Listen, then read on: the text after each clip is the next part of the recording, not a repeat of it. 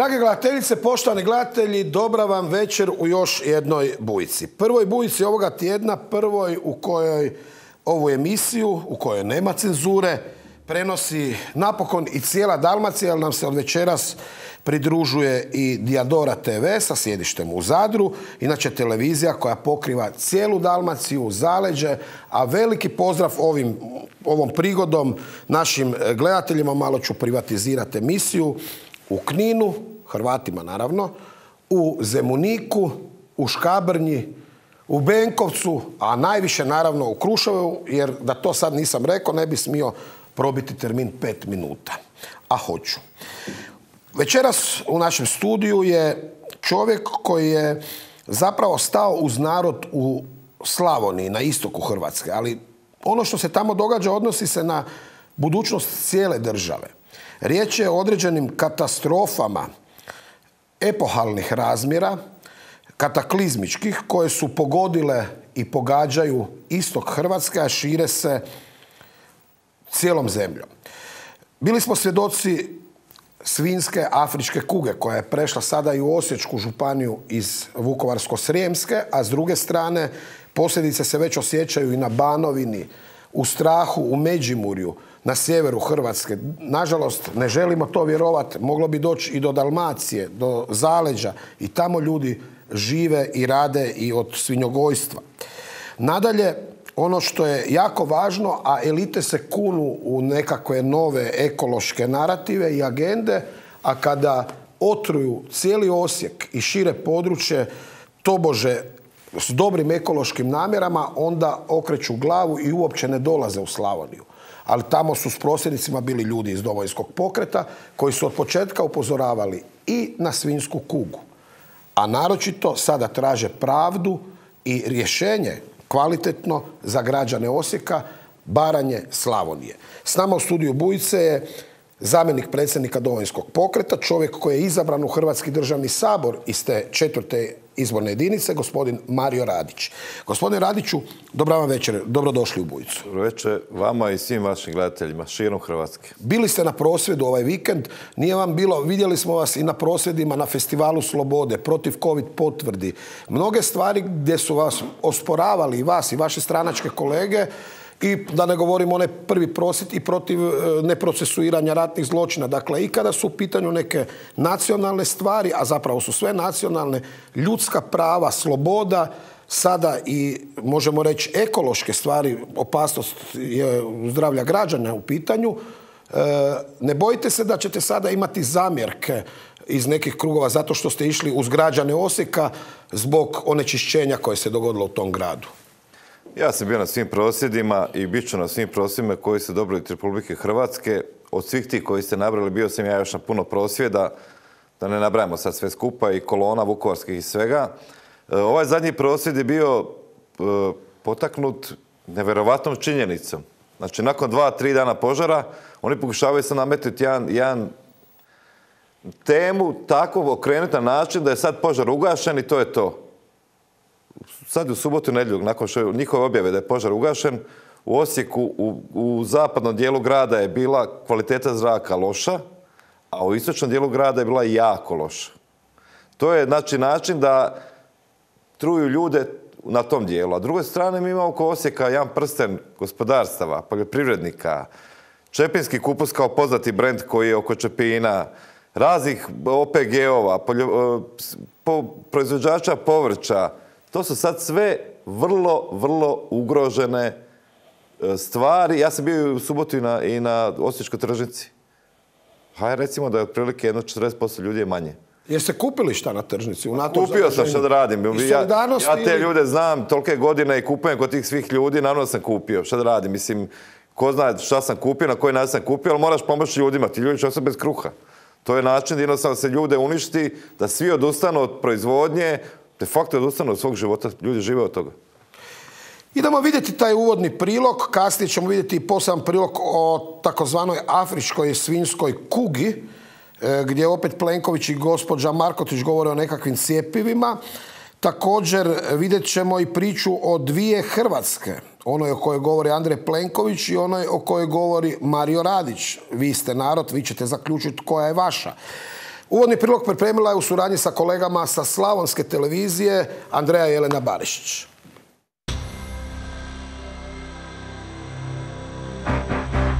Ni 30 godina nakon velikosrpske agresije duboke rane na istoku Hrvatske još uvijek nisu zacijelile. Dobrim dijelom zbog nefunkcioniranja institucije na koje politika redovito radi pritisak. A sada su na pomolu i neke nove tragedije. Jedna od njih je afrička svinjska kuga, koja nije poharala samo Slavoniju, pa prijeti svim našim krajevima.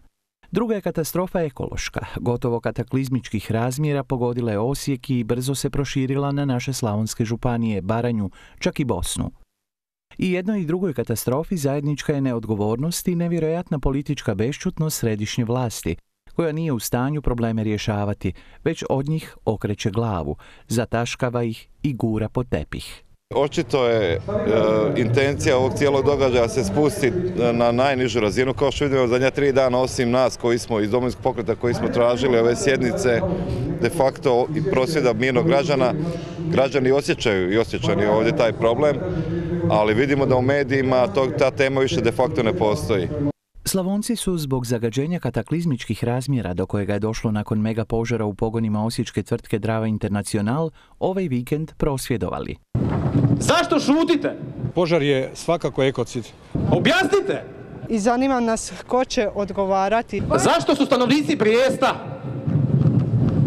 stali na rubove ovog skupa, a nisu stali ovdje da ih svi vide i čuju? Jer oni su najveći pačenici. Moji blisanci, ja i moji unuki, svi napuštamo Hrvatsku, Osijek. Vi, gospođo, gospođo ste jedna od rijetkih koja je usudila se stati ovdje bez maske. Mi uopće ne znamo realne posljedice i koliko će one trajati. Nećete više. 20 godina ste nas zagađivali, nećete više.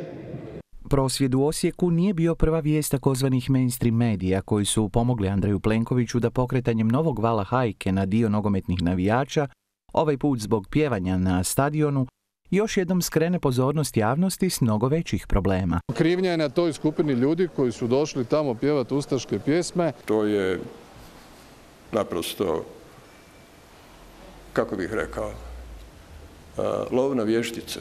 Imate li saznanja da se državni tajnik Mile Horvat da nakon požara u Osijeku susreo sa vlasnikom tvrtke Zvonkom Bedeom? Postoje li bilo kakvi posebni odnosi između SDSS-a i vlasnika te tvrtke? To se čulo iz krugova, kao što mi je vaša novinarka rekla, visoke krugova gradske i županijske kuća, županijskih kuća u Osijeku. Čak je i lokalni HDZ shvatio koliko bi užasne mogle biti posljedice strašnog požara, pa su pokušali tu temu otvoriti u Saboru. Međutim, zastupniku Goranu Ivanoviću Lacu zabranjeno je govoriti u ime kluba. Umjesto da stane iza svojih birača i traži proglašenje ekološke katastrofe, kontroverzni zastupnik napao je Stipu Mlinarića iz domovinskog pokreta zbog toga što je Andreja Plenkovića nazvao izdajnikom. Vrijeme, vrijeme je isteklo. Mislim izdajnik. Nakon Ivanovićevog neuspjeha u sabornici uslijedio je još jedan veliki šamar Osijeku, Slavoniji, Baranji i cijeloj Hrvatskoj. Andrej Plenković je i na sjednici vlade odbio bilo kakvu raspravu o proglašenju ekološke katastrofe za Slavoniju. Kao što znamo, četvrtak nije bilo na sjednici vlade nikakva odluka. Znamo da je župan i gradonačelnik su uputili zahtjev. Mi smo tražili da županijska sjednica sljedeća četvrtak dodaje još jednu točku na dnevni red. Ta treba biti da li se podržava proglašenje ekološke katastrofe. Domovinski pokret se i u slučaju velikog osječkog požara pokazao kao jedina ozbiljna oporbena politička opcija, čiji se čelnici nisu libili stvari nazvati pravim imenom. Da li je to sprega politike? Da li gospodin Bede, koji znamo da je dobrim odnosima i sa Šeksom i sa ljudima iz Zagreba i sa nekakvim trenutnim državnim tajnicima i pomoćnicima ministra, ja to ne znam. Ali e, da je ovo štetno je sigurno i plaši me malo to što nemamo de facto još nikakav službeni dopis koje su to čestice, koliko su štetne, a po mojim saznanjima su puno štetnije nego što trenutno priznaju. Za razliku od domovinskog pokreta, Ljevica je stala na stranu lokalnog tajkuna koji redovito sponzorira lijeve medije i političare, a u Osijek ga je došla podržati čak poznata eko-oznašica, nazovi kandidatkinja Možemo za premijerku Sandra Benčić. Ovaj incident ovdje, dakle sa ovim požarom, nije jedini.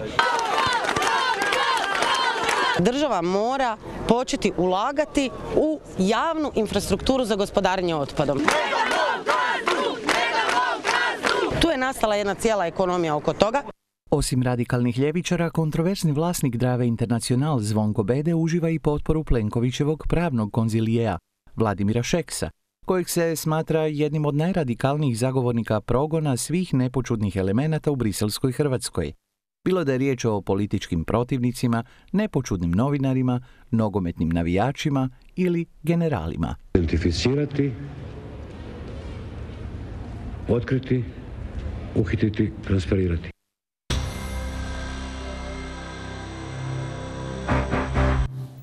Gospodine Radiću, evo, vidjeli smo vas na prosvjedu. Doduše, vi niste došli podržati BDA i radnike koji su navodno, kako smo čuli i vidjeli u nekim dopisima, jedan manji dio bili plaćeni da podrže gazdu. Tamo je bila Sandra Benčić. Znači, lijeva oporba je bila uz ovoga koji je zapravo odgovoran na mnogo načina za zagađenje, a reći ćemo desna oporba, vi ste jedan od čelnika Domovinskog pokreta, je bila uz građane koji su se našli na udaru zaraze. U krajnjoj liniji vi, vaša obitelj živi u Osijeku. Hajmo ovako. E, prvo taj prosvjed kod gospodina Bedea što je bio, ja nešto smiješno u životu nisam vidio. Ajmo staviti ovakvu situaciju. Znači da bilo ko neki nekakav gospodarstvenik koji ima zaposlene radnike. Znači ova, ova ekološka katastrofa će zagaditi, unazaditi Slavoniju desetinama godina. Desetinama godina, pa što vam pričam. To ćemo tek osjetiti. Mi pričamo o tvornici koja je samo 9 km daleko od Arteških bunara koji cijeli Osijek pije vodu. To je prva stvar. I dođu radnici, dođu radnici, zovu se porukama, dođu u većem broju, spominju se novci, ne damo gazdu. Što ste vi kad čuli u životu svom? Pa šta recimo da je taj gazda zgazio čovjeka nekog ili nešto, mislim, o čemu mi pričamo? To je, to je blasfemija, nenormalna. Znači, uopće pričati o tom prosvjedu gdje ljudi govore nema veze, mi smo malo zagadili sve skupa, napravili smo katastrofu, neće biti poljoprivrede, bit će maligni bolesti u Osijeku, ali mi ne damo gazdu. To je prva stvar. Druga stvar, ovaj drugi prosvjed, to je pravi prosvjed. To je prosvjed ljudi koji su, koji ste vidjeli iz ovog priloga, to nije bio politički prosvjed. Mi smo došli na taj prosvjed da podržimo ljude koji se digli. Znači, to su majke, to su ljudi. Ova žena je rekla da seli iz Osijeka nakon ovog svega. To je prosvjed koji je e, pravi prosvjed da se počne nešto događati. E, treća stvar, mi imamo u Osijeku jednu situaciju koja sad prelazi, znači ta ekološka katastrofa prelazi u dinamiku politike. Imate župana koji traži proglašenje ekološke katastrofe i gradonačelnika doduše malo nevoljko, ali ipak, koji isto ga podupira u tome pošalju taj upit vladi Republike Hrvatske, vlada ništa. Ko da nije... O kakvom je upitu riječ? Upit da se proglasi stanje ekološke katastrofe. Znači tu pričamo nakon toga se mogu isplaćivati novci, može se pomoći ljudima, mogu se mjere poduzeti. To je nekak, mi sad imamo proglašenu tešku, veliku nesreću, tako nešto, ali to je nešto, to nije ništa što, što išta znači ljudima. Mi imamo dva HDZ u Osijeku očito. Znači, jedan HDZ a ja bih rekao da taj Osijek u HDZ, to je predsjednik ovaj gospodin Šeks. Jer kad se proglaši ekološka katastrofa, neko će treba dobiti novce i od tog beda. Da se razumijemo. Ne samo treba dobiti novce. Ja postavljam jedno pitanje. Znači, ovdje još uvijek mi ne znamo. Znači, neko govori da ima dozvolu, ne, to, to ne, ne neko govori. Znači, dozvola ima na 20.000 tona. Po svim slikama koje imamo iz satelita, od, e, koji imamo preko Google Eartha, se vidi da to otprilike nekakva površina, kad se izmjeri puta visina, dolazimo do otprilike 400 do 500 tisuća tona. Znači, izgorilo je 400-500 tisuća tona, a on je zato dobio 500 kuna minimalno po toni. Znači, on je zbrinio to na način da je to otišlo u zrak, zagadilo sve, on je uspješan u zbrinjavanju u europskim znači, razmjerima. Prvo što imamo, prvi problem koji imamo, prvi problem je, prijatelj moj, ti su novce za, za zbrinjavanje otpada, ti si ga zbrini u naša pluća, naše vrtove, na našu djecu. To ćeš prvo vratiti. To prvo. Onda ću pričati o šteti dalje. I nakon te situacije, mi smo vidjeli, vidjevši da vlada ne poduzima ništa, neće biti ekološke katastrofe, mi smo dali dopunu dnevnog reda na županijsku sjednicu. Sad je vaša inicijativa, nakon što znači nije uspjela HDZ-ova inicijativa u parlamentu preko Ivanovića Laca, navodno mu je zabranjeno govoriti. Inicijative nije bilo, zabranjeno me govoriti po mojim I informacijama. sad DP na lokalnoj razini Znači, preuzima inicijativu. sada vidjeti ovako. Znači, župan je tražio od vlade da se proglasi ekološka katastrofa. Tražio je gradonačelnik. Od grada Osijeka, pošto nemamo najavi kad će biti sljedeći tjedan, onaj tamo tjedan sjednice gradskog vijeća, mi smo najjača oporba, da se razumijemo, i u gradu Osijeku i, u županiji daleko. E, tražili smo da bude tematska sjednica gradskog e, vijeća i tražili smo, pošto je sad u četvrtak sjednica županijske skupštine, tražili smo da se doda još jedna točka, da li se za proglašenje ekološke katastrofe. Da vidimo mi, znači da vidimo mi u ta dva HDZ-a koja postoji, jedan HDZ je očito Plenkovićev i Šeksov, a jedan HDZ je Anušićev. Tako ispada. Ja ne ulazim u to, ja, ja pričam o tome da Anušić traži ekološku katastrofu i bori se protiv toga, a gospodin Šeks i Plenković ga de facto brane. Osim toga ga bede i napada pred novinarima. Javno. Pa i napada ga pred novinare, a tješi ga državni tajnik. Ovo je i političko pitanje, osim što je pitanje zdravlja ljudi. E, može li se sad po prvi puta dogoditi da Anušić ko- bude zaista na strani građana koji to očekuju i njegova većina HDZ-ova, njegovog HDZ-a lokalno, podrži inicijativu domovinskog pokreta koja je vođena ne političkim interesom, nego interesom zdravlja građana. To se Plenkoviću neće svidjeti. To bi značilo da Anušić sa domovinskim pokretom i građanima županije ide protiv Plenkovića koji nije niti došao u Osijek deset dana katastrofe. Niti je spomenuo ovo sve skupa. E, gledajte, ja bi tu čak, mi pokušavamo bježati u ovom slučaju od bilo kakvog politiziranja, dobivanja jeftinih političkih poena. Ja u subotu prošao, kad se probudio, kad je okrenuo, mislim, samo da i to kažemo, da nije vjetar bio, da nije bio sjeverac koji je puhao sjeverno na način da je, da je vjetar odlazio od, od Osijeka, to je bio pomor ljudi. To bi bilo nešto što, što mi ne možemo zamisliti. E, ali to, vam je, to su ta dva HDZ-a. Znači, to vam je, evo, na ovom primjeru se točno sve vidjelo. Znači, imamo čovjeka Ivana Anušića koji treba pokupiti glasove, koji je branitelj, koji je domoljub, koji će pričati lijepe priče. Kojem je brat poginuo u ratu. Kojem je brat poginuo, kojem ja imam najbolje mišljenje, odmah si to kažemo kao čovjeku. S druge strane imamo interes gospodina Šeksa i kad gospodin Plenković treba odabrati između Anušića koji mu donosi glasove i koji se hvali, koji pokušava reći da je to pravo lice HDZ-a, ne, on uvijek odabere ovoga drugog. Zašto? Zato što je taj gospodin Šeks, to je, to je, to je ta nekakva ja, siva eminencija, ali to ni siva eminencija. To je tiha ruka koja upravlja svim procesima. Znači, ta tiha ruka je do, on je dobar i sa BD-om, njemu, je- njemu se, taj BD je financirao te kampanje, ko zna šta je tu sve bilo, BD je financirao kampanje i, gospo, i Vrkića i da ne govorimo čemu, čemu sve ne. Tu je i SDSS, i Benčićka i Šeks, znači briselski HDZ. Svi su oni tu zajedno i svi oni brane tog gospodina, a proeuropski, briselski, veliki naš uljudnjeni gospodin, kad treba birati između domoljuba i čovjeka koji je, što se rekli, do lakata u problemima, koji je oličenje nečega zlog, ne govorimo ono identificirati, locirati, uhititi, uvijek stane na njegovu stranu. Tako uvijek stane u svim tim situacijama. Međutim, mi ćemo sad reći, stavit ćemo situaciju u toj županijskoj skupštini da se fino pobraje ljudi. Da vidimo ko je za Šeksa i Plenkovića, a ko je za Anušića. Vi ste na zadnjim... Mi ćemo naravno biti za prijedlog da se proglasi ekološka katastrofa, moramo ni govoriti. E, tu je interesantno kad kažete da ste najjača oporba tamo, vi po istraživanjima, a i na zadnjim izborima samo u gradu za vijeća gradskih četvrti, čini mi se, ili Kotareve, ili kako imate u Osijeku. Mjesni odbor. Mjesni odbori ste imali 10%. E, ne znam, druge stranke nevidljive. Stranka Biljane Borzan koju sponzorira Bede, puno slabije od vas. Suverenisti Most niti 2%. Dakle, vi ste tamo jedina alternativa zapravo stvarna HDZ-u, uglavnom Šeksovom. To je potpuno jasno, sam jedina prava alternativa. Uostalom, to se vidi po broju članova, po broju ogranaka, po načinu kako mi radimo. Mi smo skočili kad je bilo ovaj dio, kad je bilo, mi smo svi zaborili olujno i nevrijeme koje je pohrlo Slavoniju. Pa iz Osijeka, iz Osječko-baranjske županije otišao par kombija i sa materijalom ljudi koji su sedam dana tamo popravljali po krovima skakali da pomognu ljudima. Ja vam hoću reći jednu stvar. U ovoj situaciji se vrlo jasno vidi kad treba duboku državu štititi, ne, ne zanima, dragi gledatelji, ne zanima gospodina Plenkovića to. To je ne tema. Ako je pitanje interes gospodina Šeksa, to će se štititi po bilo koju cijenu. Hoće nas pomrijeti 100, 200, 50, 100 tisuća. Koga briga?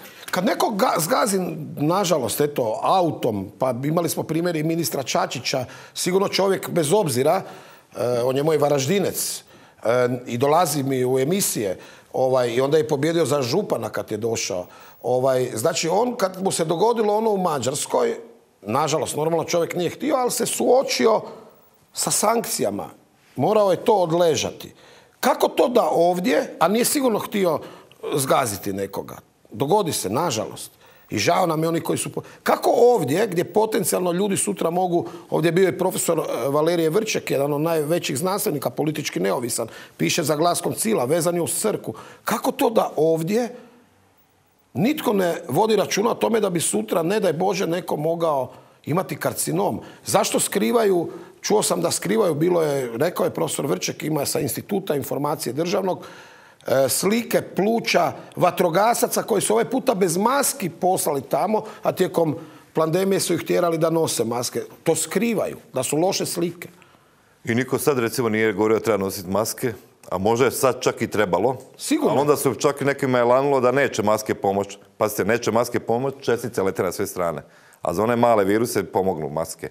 Sad sam malo ciničan i, i ovaj, moram se osvrnuti na taj dio. Ma gledajte, mi imamo situaciju. E, dogodilo se nešto što neće tek tako proći. To će trajati godinama. Niko ne želi podnijeti bilo kakve reperkusije toga. To se pokušava sakriti po tepih. To oni kažu požar je ugašen. E, požar je ugašen. Pa mi imamo tekuću plastiku koja prodira u zemlju. To su lave plastike ispod. To je po 20-30 metara dolje plastika koja probija dolje. Druga stvar, niko nam još nije rekao Znači, mi imamo neformalne da su formaldehidi, da su benzoati, da je... Mi uopće još nemamo... Mi oni samo kažu da je vrlo loša. Vi morate znati da je prošle subote, prošle subote, ne ove sada, Osijek je bio u tom trenutku jedan od najzagađenijih gradova na svijetu. Bio je zagađeniji od Šangaja, bio je zagađeniji od bilo kojeg grada na planeti Zemlji. Od Šangaja? Šangaja. Znači, Šangaj u tom trenutku imao 197, zagađenost Osijek imao 221. Znači, Zar to nije podatak za naslovne stranice svih medija ili je to u interesu zdravlja građana? A dobro, gospodin Za pres konferencije nacionalnog stožera. Gospodin Šeks i, njegov branitelj to neće dopustiti, tako da to neće biti, a znamo kakvi su ostali mediji. E, tu se, ali ovdje se baš razotkriva do koje mjere i do koje granice se mi možemo kockati s ljudima. Šta je, znači, taj stranački interes, stranački interes tog HDZ-a, kad je on u pitanju, on nema cijene. To je što bi rekli koja ona reklama ima, neprocjenjivo. Znači, u tom dijelu ne zanima njih to. To njih ne zanima. On će braniti interesne skupine do kraja. A svim ovima, kao što su Janušić, kao što je svi ti ljudi koji još uvijek vjeruju da postoji ovaj HDZ, e, taj HDZ postoji samo dva mjeseca pred izbore, da donese glasove i nakon, ti, nakon toga ti ljudi budu kuš, niko ih ništa ne pita, nemaju pravo glasa, a pravo glasa onako, mislim, bilo će bilo pošteno. Ko vlada tamo? Jel vlada Vladimir Šeks? Jel progurao Čerko sada za, za predsjednicu općinskog suda? Prijatelji moji, zašto sa Vladimirom Šeksom ima koliko, građana će glasati Vladimira Šeksa? Jel on taj koji vlada tamo? Je. Saži prijatelj na izbore, dobije glasove i onda vlade. Recite nam, gospodine Radiću, a i ovdje je na dijelu bilo skretanje pozornosti, barem glede, ja to tako gledam onako sa osobnog medijskog, ne političkog e, rakursa. Dakle, e, umjesto da je neko možda i upozorio da je opasno igrati nogometašima kad je e, zagađen zrak, pa da iskažu brigu ne samo za hrvatske reprezentativce, nego za tursku reprezentaciju, pa naravno ponajprije mnogobrojne klince, djecu koji su bili tamo sa očevima, je li bilo to opasno? Ali on sad ne govori o toj opasnosti, govorimo o Plenkoviću. On sad ne uhićuje odgovorne za trovanje Osijeka, nego se opet priča skreće nekako takav je moj dojam osobni na ideološki kolosijek pa je tamo neko nešto pjevao i sad svjedočimo umjesto da se uhićuju ljudi za ekološku katastrofu uhićuju se neke klinci koji su nešto pjevali. Ne relativiziram, briga me, ovaj, u ostalo imam svoje Mi smo na dan tog prosvjede, na dan katastrofe od zraka, na dva nacionalna tjednik, dnevnika, znači dvije novine dnevne, imali naslovnice da se pojavile stjenice u jednom neboderu u Rijeci. Sad vi zamislite, a mislim, te sve novinare može biti sram, uopće da to novinarski mogu napraviti. Znači imate vamo, u Osijeku imate situaciju da ljudi, ugroženo zdravlje, ugrožene životi, ugrožena egzistencija, u jednom neboderu se pojavilo, ali to je in, jer se te sjenice pojavile u Londonu i Parizu, pa sad, smo in. Sad brže bolje i mi smo in. I nama, i tek da su se u Briselu pojavile. se pa pojavile stjenice i to je sad smo, znači metro ima londonski problem sa stjenicama, evo ima i ja neboder u Rijeci. Ma mislim, to je katastrofa to Mi, mi živimo u jednoj paralelnoj stvarnosti gdje se nama prikazuju vijesti koje nemaju veze s mozgom. A svinska gripa, gospodine Radiću, šta će... Kuga, kuga. pardon. Ja to tako kažem jer ima ova neka gripa za ljude, pa svinska kuga, ali, ali to je bio lapsus, e, a ne, ne slučajan, jer i Alenka Markotić je govorila o e, e cijepivu ponovo, pa i o tome da treba vjerovati veterinarima, naravno da treba, ali ajmo sad prvo pogledati to, ajmo pogledati prilog e, kolege Igora Petrovića koji upozorava da bi Hrvatska mogla ostati bez hrane, upravo zbog pojave afričke svinske gripe, a nisam e, bez razloga ovaj prilog sada odlučio pustiti, jer su se smijali čelniku domovinskog pokreta Ivanu Penavi, gospodinu Radiću, Čipi i ostalima, kada su umjesto na moru bili cijelo ljeto u Slavoniju uz ljude, seljake koje su doslovce odlučili ubiti u poslovnom smislu, a Hrvatskoj i dodatno pogoršati samodostatnost u prehrani.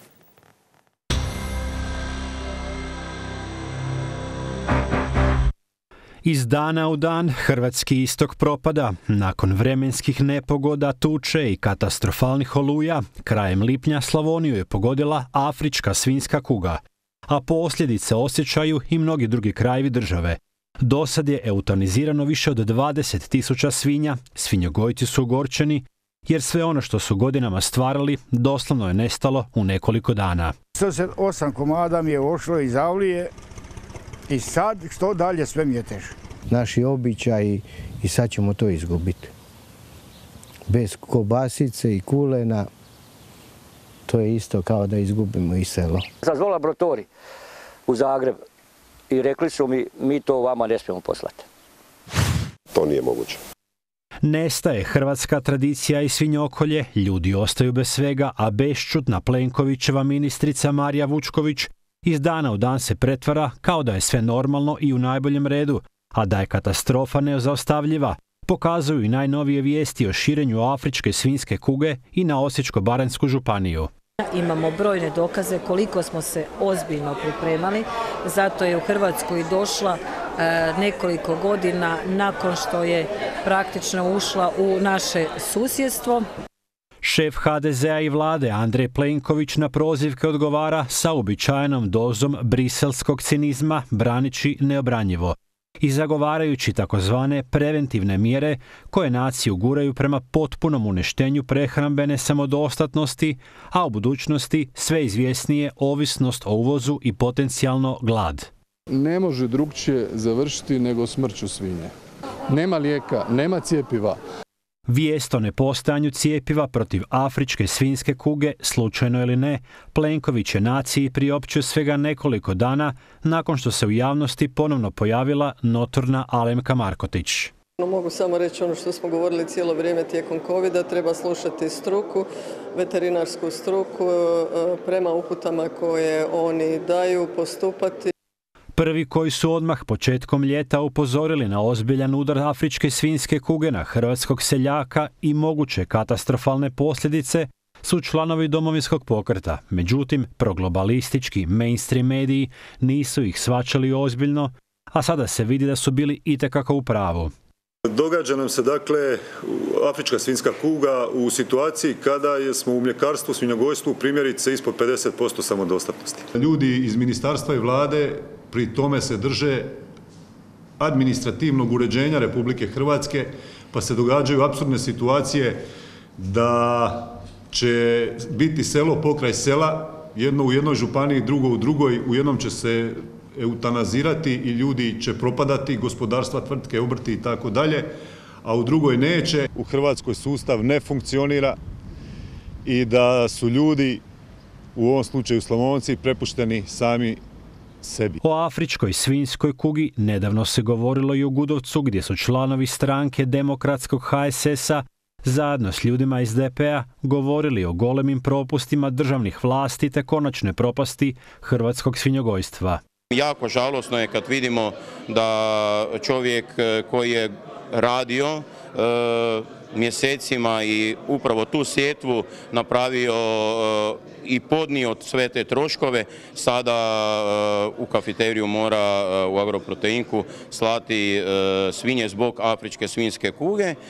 To mislim da nije bilo toliko ovoga, trebalo biti rigorozno i, i potrebno, da bi s druge strane upravo neću go imenovati sela i gdje se to dogodilo, imate sve na društvenim mrežama, upravo došla dva šlepera puna na četiri nivoa svinja iz, izvana. Ne? Tako da to, to nema uopće smisla. Jedini fond koji je tijekom eskalacije afričke svinske kuge povećan i onaj privatni, financijski ministra Gordana Grlića Radmana, jer baš je njegova obiteljska tvrtka specijalizirana za zbrinjavanje ubijenih svinja. Je li problem da ta tvrtka surađuje s državom? Pitajte I u slučaju prozivki kontroverznog Plenkovićevog zrinjevačkog čate, lijeva je oporba ponovno pokazala svoje licemjerje, ali i tajnu suradnju s briselskim HDZ-om. Mnogi su već zaboravili kako je tijekom kulminacije afere Zambija upravo Grlićeva agroproteinka od lijevog gradonačelnika Zagreba Tomislava Tomaševića kao jedini ponuditelj i po tri puta nižoj cijeni od tržišne dobila atraktivno gradsko zemljište vrijedno gotovo pola milijuna eura. Je znate ovo što se o za otkup zemljišta? Ne, ne. Sad sam dobio od vas informaciju.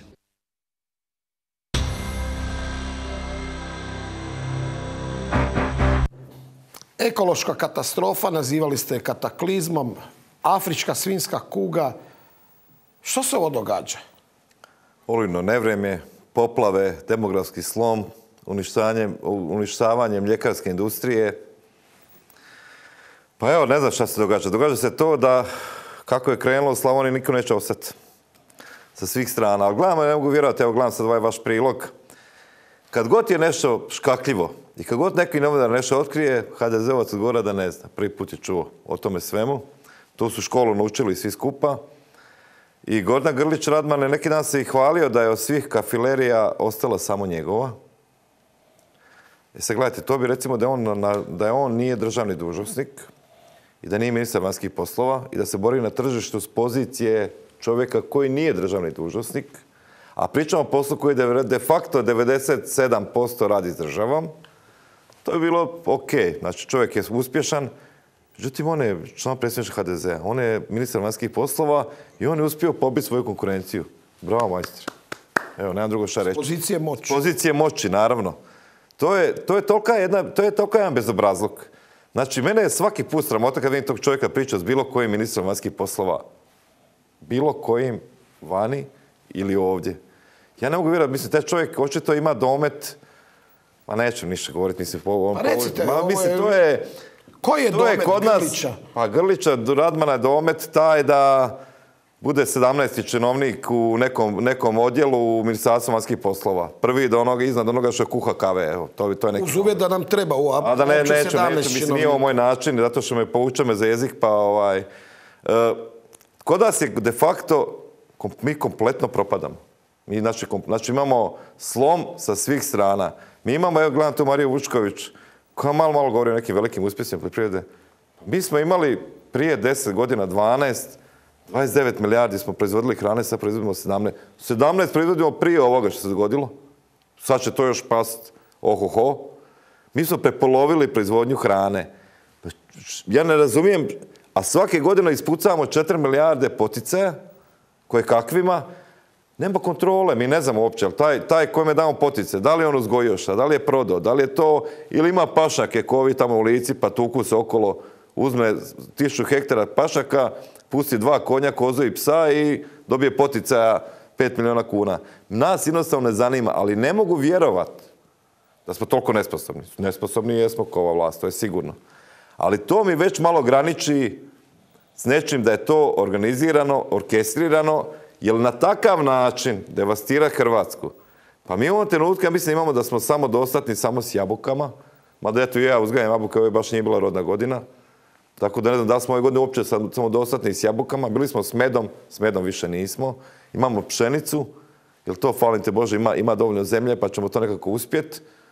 Ovo ostalo, mi smo sve mlijeko, meso, voće, povrće, mi smo sve uništili. Je li to, gospodine Radiću, ne želim da, da sad opet govore neki da sam teoretičar zavjere, vjerojatno ni vi to ne želite, ali sjeća se dojam ajmo uništiti Slavoniju, ajmo isprazniti prostor, pa da onda dođu neki, recimo iz Nepala, iz Pakistana, iz Afganistana.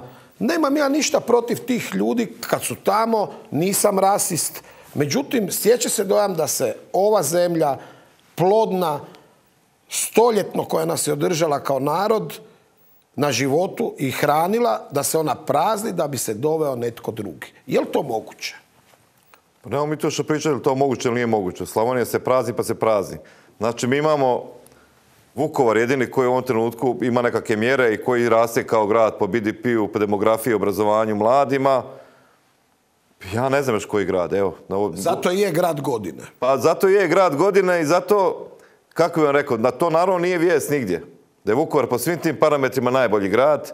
Neki dan je gospodin Penama bio u, u tvornici avio dijelova. Mi imamo, mi proizvodimo dijelove za Airbuse.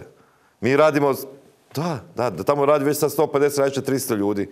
Samo što, je gospodin Penama toliko skroman, pa nikad to se ne hvali, ali mi moramo početi to pričati.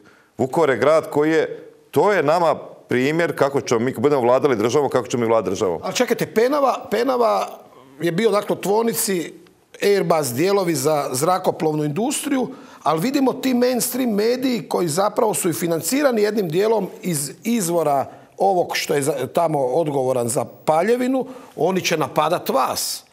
Oni će napadat Penavu koji radite nešto, a ove stvari će zataškavati i paradoksi te ljevice koja onda njih pokriva jer iz političkih motiva napadaju domovinski pokret. Pa gledajte, u tom Vukoru ja zapošljavam preko 200 ljudi, zapošljavam i u Osijeku, tako da uh, ja je, recimo, evo, prvi posao, evo, Bog mi je svjedok, pa nije to posao, ja sam napravio solarnu elektranu u tom Vukovaru, jednostavno vidio sam u tom trenutku nema struje, počela biti struja jako skupa, nećemo za vlastite potrebe, nećemo za vlastitu proizvodnju, nećemo za vlastite tvrtke, ali ne možete vi napraviti solarnu elektranu, pa sebe sami sebi proizvoditi struju, pa ima struju za sebe. To nije dozvoljeno u Hrvatskoj. Vi morate prvo da vas priključi HEP, uz dozvolu Ministarstva gospodarstva, pa kada se oni priključe, onda oni vam vrate tu struju. Ja sam završio elektranu, znači 16.10.2022. godine. Godinu dana čekam danas dva papira. Juče je bilo, juče ili danas, evo sad. Danas. Evo, a evo nek bude juče ili nije nebitno, ali godinu točno dana. Čekam dva papira, spanje na mrežu i puštanje u funkciju. Ali da ste ministar vanjskih poslova, bi to odmah riješili. Pa da, onda, onda bi ja uspio to bez problema, nazvao bi dva. I to je recimo, znači, ja sam uspješan u svim svojim poslovima. Nemam ja problema nigdje, na, kad se god na golom tržišta, borim se sa velikim i multinacionalnim kompanijama i borim se sa svime i svačime. Ali evo, meni treba sad dva papira od države, znači nisam dobio nikakvu donaciju, nisam uzeo nikakve EU fondove, nisam uzeo nikakav kredit, svojim sam sredstvima napravio, ne mogu mi dati dva papira. Ali izbjegavate mi odgovor, jel možda mislite da vas navlačim na tanak let, možda to za dovoljski pokret nije tanak let. Migranti, gospodine Radiću. Migranti, jel se za njih prazni Slavonija? Jel se to radi, ne samo Slavonija? O čemu se tu radi? E, gore ste bili zajedno sa Penavom, govorili ste da će ona ograda kojom se ogradio Plenković, da ona treba ići na hrvatsku granicu. Ostajete li pri, pri tom razmišljanju? Pa gledajte, mi se ovih dana intenzivno bavimo svim, svim tim problematikom migranata. Naravno, dali smo nekakav rok da se počne mijenjati neke stvari. Ne mijenja se ništa kao što vidimo. Ljudi, su, ljudi prolaze kako prolaze. I mi smo malo, znači tim nekakvih pravnika već danima, danima radi oko toga. E, Mi smo došli do nevjerovatnih spoznaja. To mislim moram reći, evo to je čak neko ekskluzivno ovdje. Ekskluzivno. Mislim, to je toliko nešto to je toliko nešto nevjerovatno, ali je nažalost u našem paralelnom svijetu, kao što vidimo, je to ekskluzivno. Pa šta kaže recimo zakon o nadzoru državne granice, točka 3. Nadzor državne granice je zaštita vanjske granice i poslovi granične policije obavljaju se radi osiguranja nepovredivosti državne granice i državnog područja Republike Hrvatske. Nisam otkrio toplu vodu, tako? To, je, to, je, to radi policija. Zaštita života, zdravlja ljudi i tako dalje. Pa onda kaže, prekršene odredbe, kazna zatvora od 30 dana ili novčanom kaznom u iznosu 260 do 1320 eura kaznit će se za prekršaj fizička osoba ako, slušajte me dobro sada, prijeđe ili pokuša prijeći vanjsku granicu Republike Hrvatske izvan graničnog prijelaza. E, nikom to nije naplaćeno. Znači, brojke su, neke neka govori 100 tisuća, mi, mi nemamo pojma koje su brojke, mi ne znamo ništa. E, nikom nije naplaćeno, znači trebalo biti u ovom trenutku u proračunu barem nekakvih 70-80 milijuna znači 500 milijuna kuna bi moralo biti u proračunu sredstava od tih koji su pokušali prijeći granicu. Čekajte, vi se dakle zalažete za kažnjavanje onih koji idu ilegalno pre- pre- preko granice po mogućnosti i zatvaranja ako nemaju za platiti. Ne, ne, ne. Mi se zalažemo za poštivanje zakona. A zakon to govori. A zakon to govori. Nas sad u ovom trenutku zanima. A evo to odmah postavljam javno, a postićemo i pismeno pitanje svima i predsjedniku vlade i ministru unutarnjih poslova i ravnatelju policije. Ko je taj, ko je taj ko je naložio našoj policiji da krši zakon vlastite države? Kako krše zakon? Krše zakon vlastite države, što oni umjesto da naplate te kazne od 260 do 1320 eura i 30 dana, oni njima daju potvrdu da te 7 dana mogu boraviti u Hrvatskoj. Znači oni bi im trebali pisati prekršajne naloge zapravo.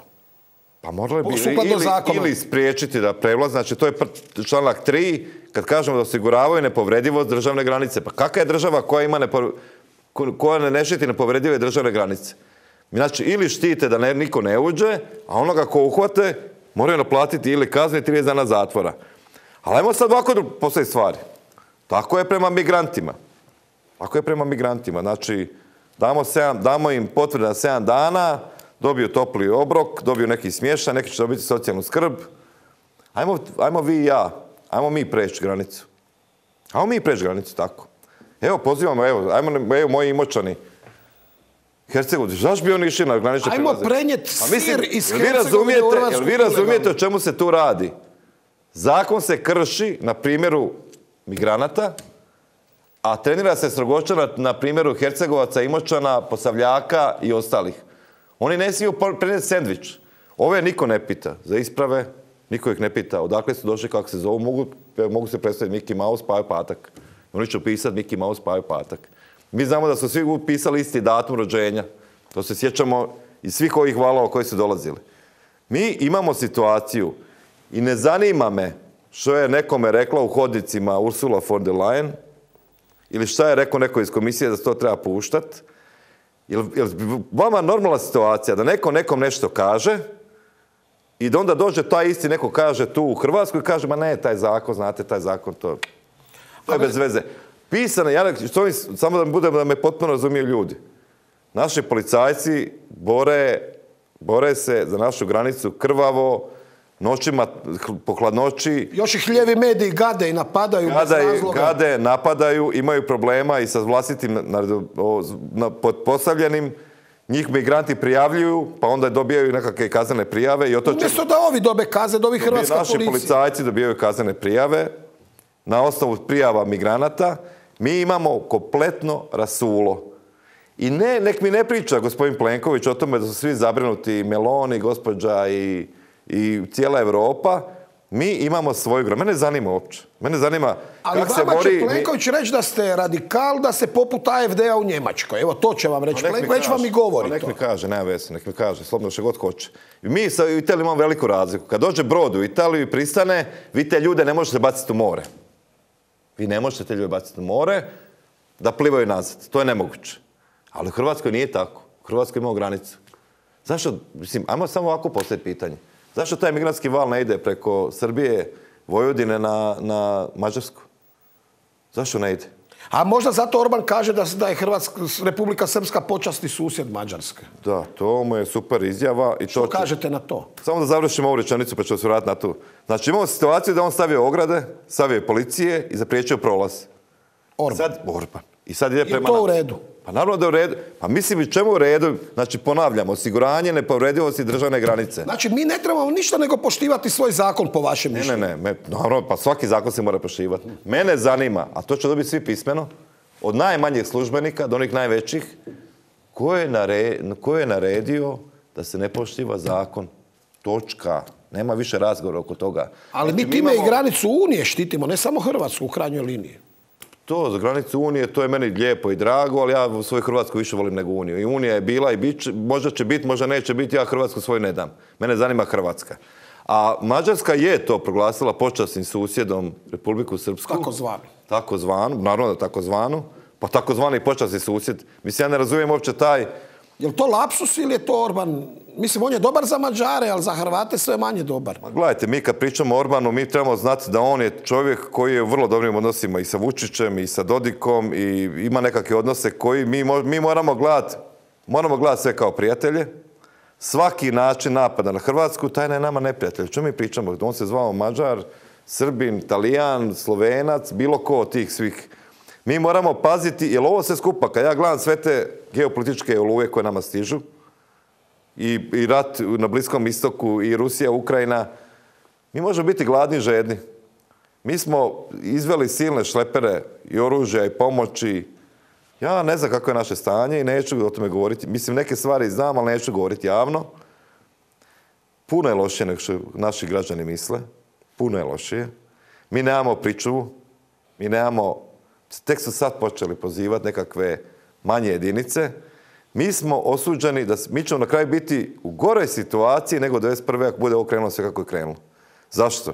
Mi smo imali tad generacije ljudi koji su ipak prošli onu obuku bivše Jugoslavije, pa su ipak znali rukovati puškom, a današnje generacije ne znaju to. Naša djeca će biti topovsko meso.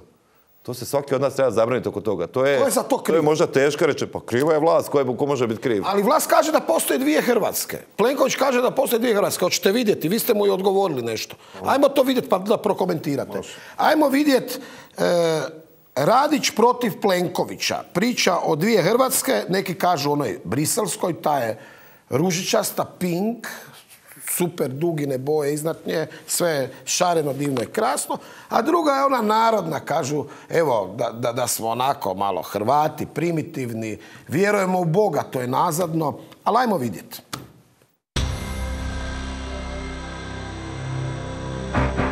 Kao što vidimo, gospodin Plenković je dao izjavu da postoje dvije Hrvatske. Jedna je koja će stalno sve činiti negativno, sve će biti da je nikad gore, da je sve što je dobro slučajno i po defaultu, da je sve što je loše je do HDZ. To je upravo, postoje dvije Hrvatske. Ja sam upravo došao iz Osijeka gdje postoji jedna Hrvatska koja ne može disati, gdje je kvaliteta, loš, kvaliteta zraka loša ili vrlo loša, gdje ljudi prosvjeduju zbog toga. I druga Hrvatska koja to ne zanima, koja ne želi proglasiti ekološku katastrofu. Zato sam namjerno plasirao tezu dvije Hrvatske. Osim dvije Hrvatske, u Osijeku postoji dva HDZ-a. Jedan HDZ koji župan i gradonačelnik traže da se proglasi ekološka katastrofa i drugi HDZ koji je na čelu Andrej Plenković koji ne želi uopće proglasiti ekološku katastrofu jer on smatra da to ne postoji, to se ne uklapa u tu njegovu Hrvatsku. A HDZ su lopovi korumpirani, I s druge strane, evo ovdje smo u Vukovaru gdje postoji sa dvije Hrvatske. Posljednja Hrvatska je ova moja gdje sam na ovih halama na 14.000 kvadrata napravio solarnu elektranu. Prije točno godinu dana na ovaj današnji dan završio. I druga Hrvatska koja me ne želi spojiti na istu tu mrežu. I B, oni su izdajnici ili vele izdajnici jer surađuju sa manjinskim zastupnicima, posebno predstavnicima srpske manjine. Postoje ovdje sela oko, oko Vukovara koji gdje svinje ubijaju ljudima zbog afričke svinske kuge, gdje ljudi jednostavno su očajni i prisiljeni na odlazak, a postoje isto tako neka sela srpske manjine kao što su Negoslavci, Bršadin, Borovo, gdje nema svinske kuge, gdje je koalicijski partner gospodina Plenkovića ne dozvoljava tu uđe svinska kuga. To su te dvije Hrvatske o kojima se priča. Jedna Hrvatska koja radi, pati, muči se i druga Hrvatska koja živi u ružičastom oblaku.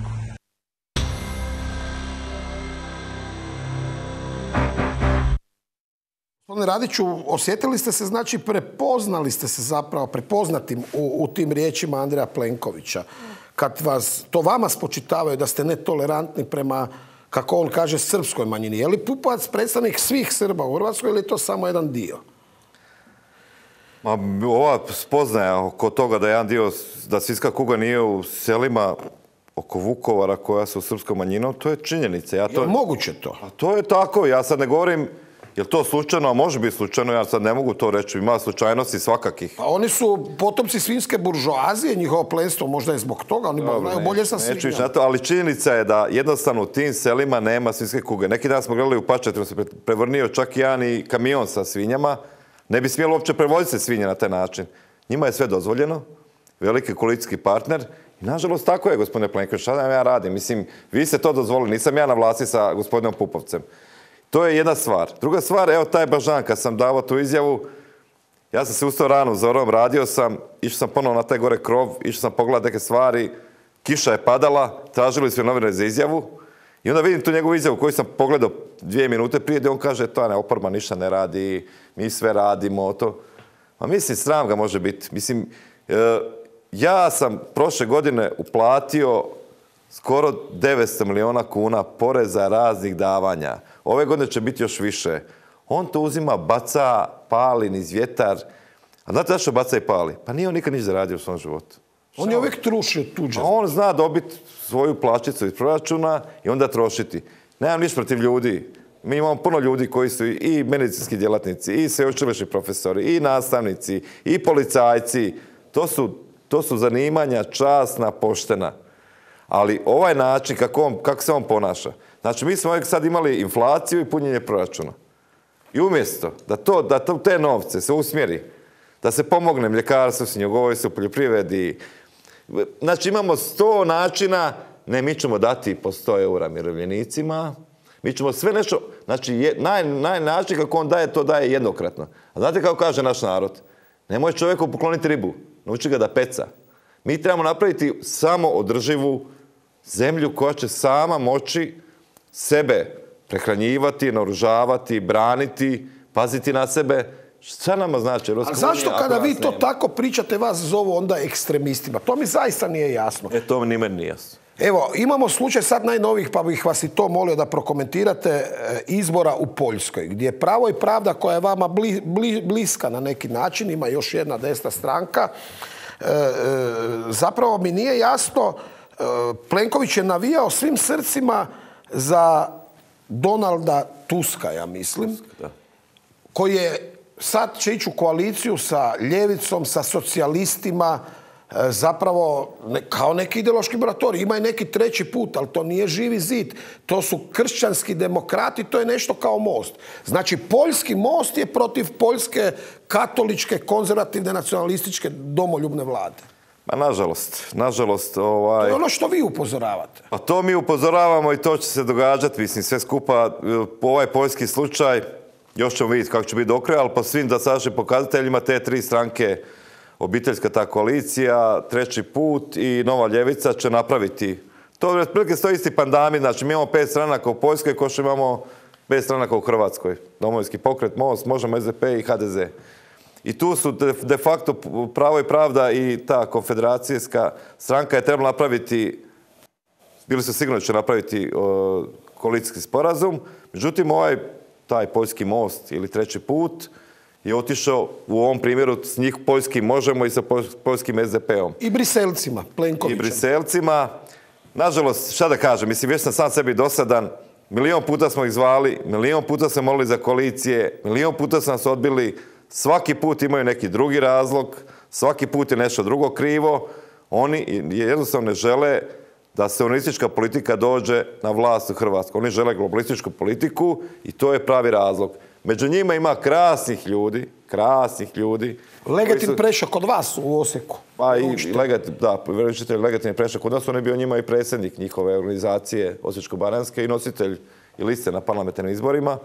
Krasnih ljudi koji ne vide to što se događa.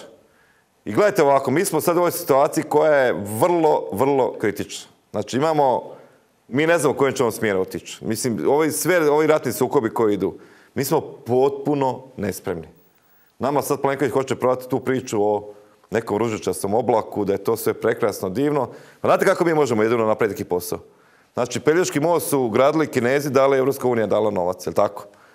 A taj Učka di se sliko neki dan, pa znate ko je to gradio? Pa francuski koncesionar je to gradio i isfinancirao. To hrvatska vlada nema nikakve veze s tim.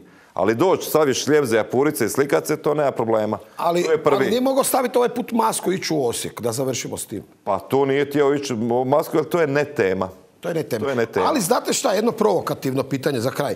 Je se bojite možda vi da vam Kata Peović, ako dođu na vlast, ne uzme dio ove imovine o kojoj govorite, jer ona se zalaže da se ljudima uzme imovina i da se pravedno podijeli pa da dobiju i ovi što se izležavaju po Zagrebu na cesti, što se ovoga e, na piknike hodaju, ne da im se radi. Sandra Bečić da malo uzme i vama, zašto ne bi uzela? Ne, ne, Kata Pejović hoće uzeti svima. Pa i vama, ali vama će najviše uzeti. A neće me najviše, ima puno bogatijih ljudi. Ja sam svoje sve uložio nazad u posao. Ovaj, ona će, hoće uzeti svima privatnu imovinu i ponovo vratiti u nekako 46. 7. Sve ću, valjda, baka izgubila šmajser kad, je, kad nije ostala šmajser, nego je zakopala. Ako je zakopala, valjda ne zna gdje je taj šmajser i kojega je zakopala. Jer ne bi se čudio da je sa šmajserom izađe. Ma mislim, to je po meni, recimo, da mi funkcioniramo kao država. Neko da ima takve ideje, da takve to propagira, pa to je zahapsiti. Evo, sad sam opet radikal, ali ja to meni zahapsiti. Znači, vi se protivite, mi smo se kao Hrvatska odredili koji sistem kod nas. Mi ne živimo u Sjevernoj Koreji, koliko ja znam. Možda ne znam sve.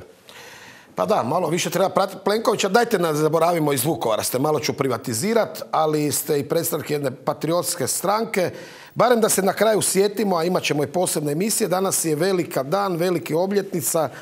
Dva velika čovjeka, mislim da je i završila Sveta Misa Zadušnica u Sveti Mati Slobode na Zagrebačkom Jarunu, ali isto tako je veliki dan bio i u Vukovaru. Obilježavamo obljetnice E, Blage Zadre i Brune Bušića, dva velikana. Što za Marija Radića osobno?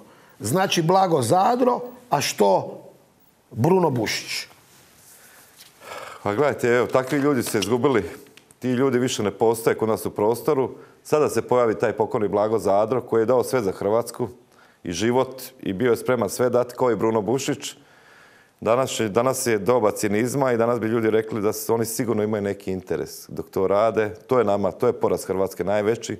A to su dva velikana, mi smo mali, mravi i miševi pred njima. Ne bi smjeli njihovo ime spominjati. Gospodine Radiću, hvala vam lijepa na gostovanju u Bujci. Hvala vam. Hrvatice i Hrvati, vrijeme je brzlo proletjelo. Hvala vam lijepa na pozornosti. Na kraju emisije još jedan put veliki pozdrav osim gledatelja televizije Jadran, Slavonske televizije, Šibenika, ne znam, Posavske televizije i ne znam gdje nas sve gledate, Z1 naravno, ovoga puta najveći pozdrav Diadora televiziji, tamošnjim Hrvaticama i Hrvatima, Škabrnji, Kninu, Zemuniku. Doviđenja. I Bibinju.